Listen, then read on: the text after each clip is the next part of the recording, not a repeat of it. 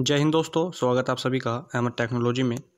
Practical exam को लेकर बच्चों के मन में काफ़ी क्वेश्चन है, काफ़ी डाउट हैं, जो बच्चों को काफ़ी परेशान कर रहे हैं। जो कुछ नॉर्मल क्वेश्चन मेरे पास लगातार आ रहे हैं, उनमें से चार पाँच क्वेश्चन सभी के कॉमन है कि सर प्रैक्टिकल में कितने क्वेश्चन आएँगे? और एग्ज़ाम सेंटर पर जहाँ भी आपका प्रैक्टिकल का एग्ज़ाम सेंटर गया है, वहाँ पर उसी इंस्टीट्यूट के टीचर होंगे या नेलेट की तरफ़ से वहाँ पर टीचर भेजे जाएँगे। तीसरा क्वेश्चन ये है कि प्रैक्टिकल में चीटिंग वगैरह चलेगी, फ़ीस वगैरह मतलब पैसे वैसे दे के काम हो जाएगा नहीं होगा। प्रैक्टिकल वाले दिन हमारा दूसरा भी एग्ज़ाम है, जैसे लेखपाल का एग्ज़ाम है, किसी का बीएड का भी। बीएड का शायद अगस्त में एग्ज़ाम है और उसी दिन हमारा थ्योरी भी एग्ज़ाम है। तो क्या डेट बढ़ेगी? पहले प्रैक्टिकल की बात कर लेते हैं कि जिस दिन हमारा प्रैक्टिकल है, उसी दिन हमारा लेखपाल का भी पेपर है। और पांचवा प्रश्न है कि वाइवा में कितने प्रश्न आएँगे? क्या हमसे पूछेंगे? किस तरीके के क्वेश्चन हमसे पूछे जाएँगे? क्या प्रैक्टिकल में ओ एम आर पे ही हमारा प्रैक्टिकल होगा? यानी उसमें भी एम सी क्यू प्रश्न आएँगे, जैसे थ्योरी में आते हैं। तो बहुत से डाउट बच्चों के मन में हैं तो इस वीडियो के माध्यम से मैं आप सभी के डाउट क्लियर करने की पूरी कोशिश करूँगा। अगर आपका फिर भी कोई डाउट रह जाता है तो आप कमेंट बॉक्स में कमेंट करके पूछ सकते हैं। अदरवाइज़ आप इंस्टाग्राम पे मेरी आईडी है अहमद टेक्नोलॉजी दस ज़ीरो सात के नाम से। वहाँ पे भी आप मुझे पर्सनल मैसेज करके जो भी आपको प्रॉब्लम है, जो भी आपका क्वेश्चन है, वहाँ पे आप पूछ सकते हैं। ठीक है? तो चलिए एक एक करके सभी प्रश्नों पे हम धीरे धीरे बात करते हैं। एक एडमिट कार्ड है मेरे पास, एक बच्चे का, अजय तोमर इनका नाम है। और इनका जो सेंटर गया है, वो यहाँ पर गया है चंदन कंप्यूटर ये बड़ौत बागपत में इंस्टीट्यूट है, एक चंदन कंप्यूटर। यहाँ पर इनका सेंटर गया है ओ लेवल के प्रैक्टिकल का। इनके चार एग्ज़ाम हैं, आप यहाँ पर देख सकते हैं। एम वन का भी ये तो इनके क्या है? पी आर कोड है लेवल पी आर कोड है, ये बैच है और ये डेट है तीस जुलाई को पहला है, उसके बाद दो अगस्त को, उसके बाद पाँच अगस्त को होगा और उसके बाद आठ अगस्त को होगा इनका। यहाँ पर टाइम दिया गया है कि किस टाइम से किस टाइम तक आपका प्रैक्टिकल होगा। प्रैक्टिकल आपका तीन घंटे का होगा, ये मैं आपको बता दूँ पहले, और सौ नंबर का आपका प्रैक्टिकल होगा। टोटल आपको तीन घंटे का समय दिया जाएगा, और इसमें आपसे सौ क्वेश्चन का आपका ये होगा। इसमें आपसे अस्सी नंबर का जो है कंप्यूटर पे कराया जाएगा और बीस नंबर का आपसे वाइवा होगा, यानी पूछा जाएगा। टोटल आपके सौ नंबर ये टोटल हो जाएँगे, ठीक है? अस्सी नंबर का आपसे क्वेश्चन करवाए जाएँगे, कंप्यूटर पे करवाए जाएँगे, चाहे लिखने के भी होंगे और बीस नंबर का वो आपसे पूछेंगे। सबसे पहला प्रश्न ये है कि सर कितने क्वेश्चन हमारे एग्ज़ाम में आएँगे? आपके एग्ज़ाम में चार से पाँच क्वेश्चन आएँगे। एक क्वेश्चन हो सकता है अथवा में हो, यानी और में, यानी आप इसे करना चाहे अगर आप इसे नहीं करना चाहते तो आप नीचे वाला कर सकते हैं। इस तरीके से आपको एक दो क्वेश्चन ऑप्शनल में मिलेगा कि आप अगर इसको नहीं करना चाहते तो आप इसको कर सकते हैं। टोटल चार प्रश्न होंगे आपके, ठीक है? हो सकता है पच्चीस पच्चीस नंबर के हों। वो वहाँ पर आपको नंबर दिखा देगा। उसके बाद आपको उसमें दिखाएगा कि यही आपको क्वेश्चन करने हैं और यही क्वेश्चन जो आप कर रहे हो, इन्हीं के बारे में आपसे क्वेश्चन जो है एग्जामिनर पूछेगा वाइवा के तौर पर जो बीस नंबर का होगा। यानी जो क्वेश्चन आप कंप्यूटर पे करोगे या कॉपी पे लिखोगे, उन्हीं क्वेश्चन के बारे में एग्जामिनर आपसे पूछेगा जो कि बीस नंबर का वाइवा कहलाता है, ठीक है? बात सबसे बड़ा कन्फ्यूज़न ये है कि क्या एग्ज़ामिनर जो है, वो नेलेट की तरफ़ से आएँगे या उसी इंस्टीट्यूट के एग्ज़ामिनर वहाँ पर होंगे।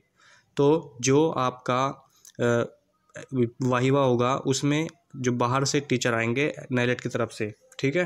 वो नेलेट की तरफ़ से एग्जामिनर आएँगे और वो ही आपसे वाहिवा पूछेंगे, जो भी क्वेश्चन पूछना है उनको, वही आपका वाहिवा लेंगे। तो ये थोड़ी सी परेशानी हो जाती है।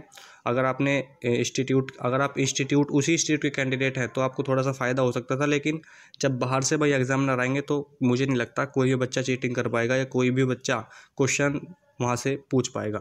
हाँ हो सकता है आपको कोई क्वेश्चन समझ में ना आ रहा हो तो आप उनसे पूछ सकते हैं कि, सर, ये क्वेश्चन हमें समझ में नहीं आ रहा है। तो वो थोड़ी आपकी हेल्प कर दें। अदरवाइज़ चीटिंग वगैरह तो बिल्कुल नहीं चलेगी, पैसे वगैरह बिल्कुल भी नहीं चलेंगे, ठीक है? उसके बाद चीटिंग मैंने बताई दिया, दूसरा पेपर भी है आपका।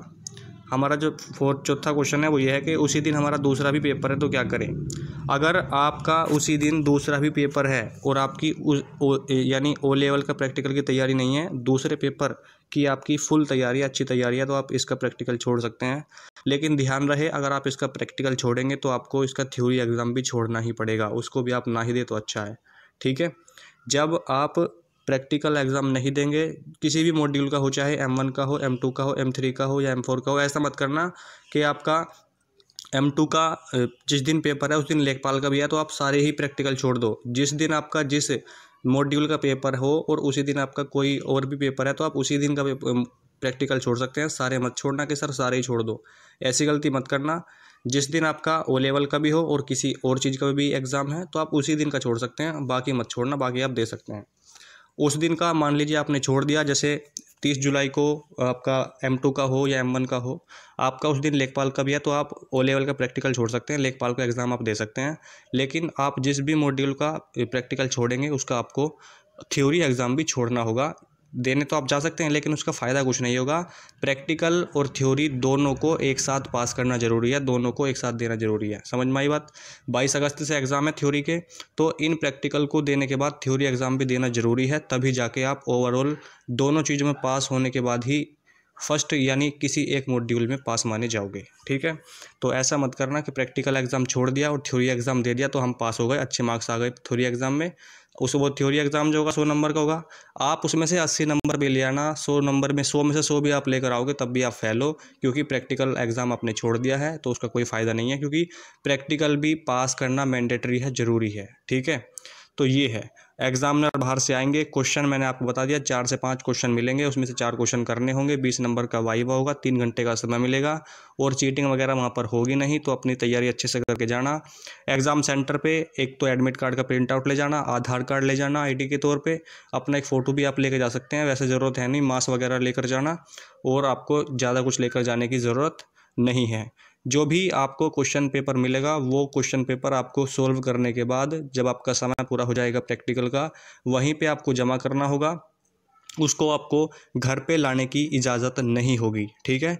तो जो भी आपका क्वेश्चन पेपर है होगा, वो आपको वहीं पर जमा कराना होगा। और सब इसमें इंस्ट्रक्शन दिए गए हैं, आपके एडमिट कार्ड में नीचे, आप इनको अच्छे से पढ़ लीजिएगा। टाइम वगैरह टाइम क्लोज टाइम क्या है और वहाँ पर आपको पहुँचने का टाइम क्या है, कब से एग्ज़ाम शुरू होगा, कब एग्ज़ाम ख़त्म होगा, ये सब इंस्ट्रक्शन में नीचे दिया गया है, आप इनको अच्छे से पढ़ सकते हैं, जो भी आपका डाउट है वो यहाँ से क्लियर हो जाएगा, ठीक है? अगर आपका अब भी कोई डाउट है तो कमेंट बॉक्स में कमेंट करके आप पूछ सकते हैं, उसका रिप्लाई आपको वहाँ पर ज़रूर मिल जाएगा, ठीक है दोस्तों? तो मैं उम्मीद करता हूँ आपका अब कोई भी डाउट नहीं होगा और आपने अच्छे से तैयारी की होगी।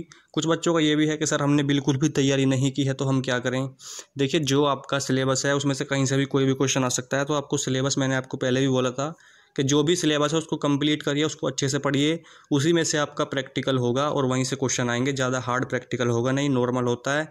आपसे जो क्वेश्चन पूछे जाएँगे, वो भी नॉर्मल ही क्वेश्चन पूछे जाएँगे, इतना हार्ड कुछ होगा नहीं वहाँ पे। जो क्वेश्चन आपने वहाँ पर करे होंगे कंप्यूटर पे, उसी के बारे में आपसे पूछेंगे। मान लीजिए ईमेल से कोई क्वेश्चन आ गया एम वन आर फाइव में, और आपसे ईमेल के बारे में एग्जामिनर जो है क्वेश्चन पूछेगा, ठीक है? तो ज़्यादा कठिन नहीं होता है वाई वाह आप नॉर्मल आराम से जाओ नॉर्मल होके आपका अच्छा प्रैक्टिकल हो जाएगा, ठीक है? कोई डाउट हो तो आप कमेंट बॉक्स में कमेंट करके पूछ सकते हैं। अगर आप चैनल पर नए हैं तो प्लीज़ चैनल को सब्सक्राइब कर लीजिए बेल आइकन प्रेस कर लीजिए। ताकि आने वाली वीडियो का नोटिफिकेशन आपके पास सबसे पहले पहुँचे। मिलते हैं नेक्स्ट वीडियो में। तब तक के लिए जय हिंद, जय भारत।